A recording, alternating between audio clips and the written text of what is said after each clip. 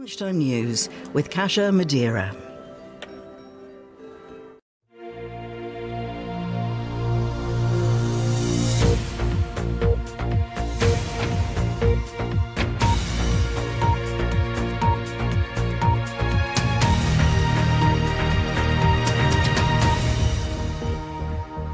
Afternoon. The Prime Minister has said the government is willing to talk to the health unions about their pay demands.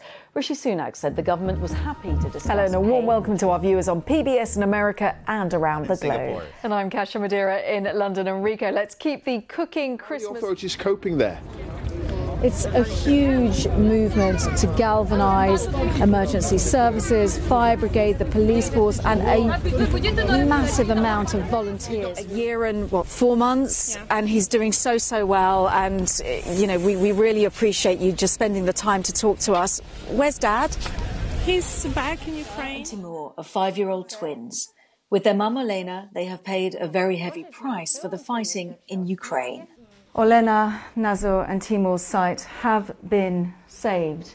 They are healing. The psychological damage, though. different aspects of civil society is proving to be extremely divisive. And now the church's very foundations are being shaken by a new. We'll be talking about a further 800 million US dollars worth of military aid for Ukraine.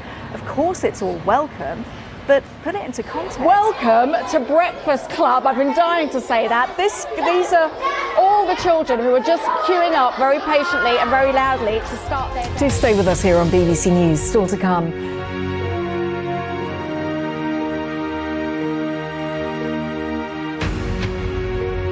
Welcome to Westminster scenes that we've been watching for the past four days, days and. We can already see behind you, Kasia, the, the start of the tributes that are being paid, the flowers that are being laid on the, on the gates and on the railings of Buckingham Palace.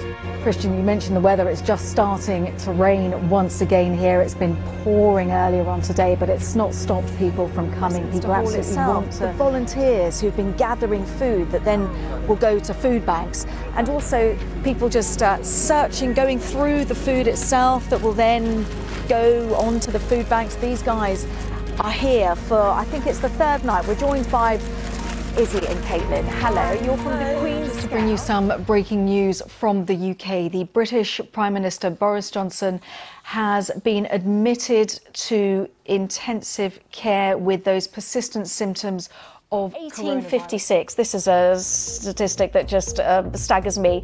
The situation wasn't resolved until the 133rd ballot. Are we in for a really long run here, or will the Republicans? Do they have to get themselves sorted out? Hello, and a very warm welcome to World News Today. On Saturday, the shutdown of large parts of the U.S. government will become the longest in America. Let's over to Washington to talk to Tara Setmayer, a political commentator. Also, Tara, you're a former Republican congressional aide. Just Put this into context for us. The midterms on the 8th, just a few days away. One or two weeks is actually quite a long time. Poland has the capabilities, has the spare parts, has the ability. NATO, a fundamental reset.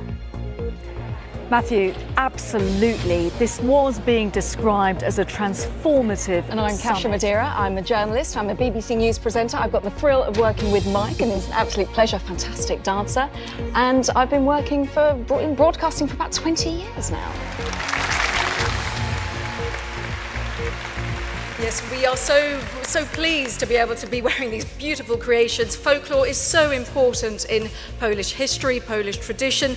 Mazury will be showing us some of the best of Kasia, Polish urodzona w folk Wielkiej Brytanii, ale wspaniale mówi po polsku. Piotrze, dziękuję strasznie. To jest wielki zaszczyt, że tutaj That jestem. these guys here are forensically verifying, they're cross-referencing times, details, all the kind of stuff that you'd see on social media that Don't needs forget to you be can get in touch with me via social media at Kasia Madera on Twitter. It would be lovely to from you. Bye bye.